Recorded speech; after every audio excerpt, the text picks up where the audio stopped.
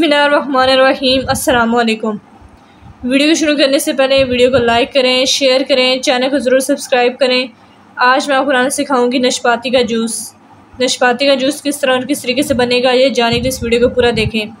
नशपाती मैंने आधा किलो ली है, इसको मैंने अच्छी तरह धो लिया है। अब मैं नशपाती के छिलके उतारूँगी। और अंदर से जो बीज होते हैं, वो भी निकाल लूँगी।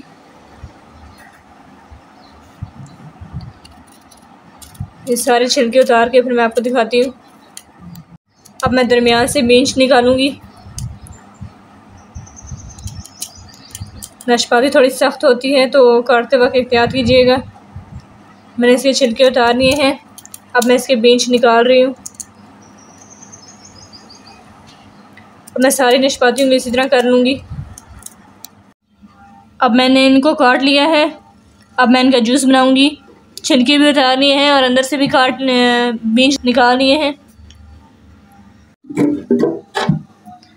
अब मैं नशपातियों को जूसर में डाल रही हूँ।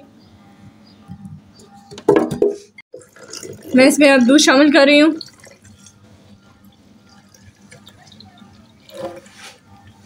जी मैंने इसमें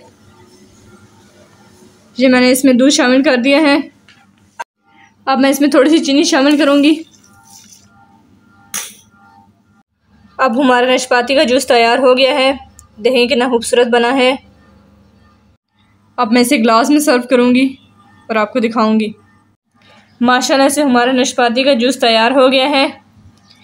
इस जूस को ज़रूर ट्राई करें। अपनी राय का इजहार कमेंट बॉक्स में ज़रूर दें। वीडियो को लाइक और शेयर करें। और आखिर में जब वीडियोज़ इनको ज़रूर देखें। आपको बहुत पसंद आएँगी। मुझे दीजिए इजाज़त। खुदा हाफिज़।